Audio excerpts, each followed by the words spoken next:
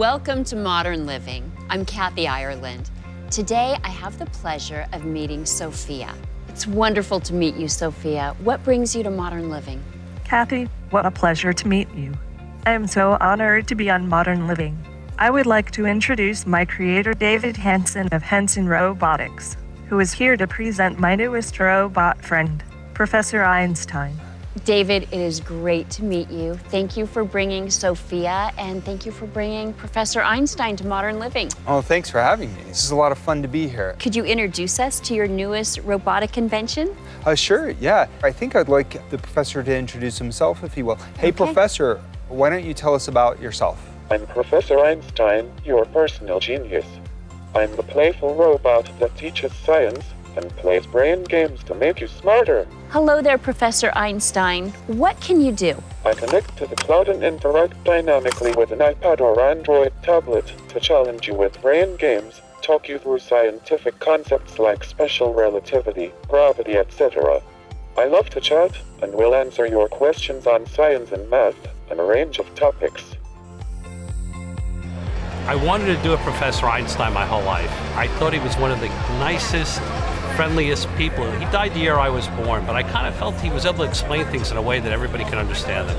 And it was really amazing if you think about what he did with relativity or time dilation, where the faster we go to the speed of light, time slows down.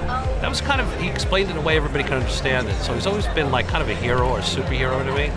And I always wanted to make a robot that would be in the persona of Einstein and be able to teach people, interact with them, play with them, and open the world of the science and universe to them.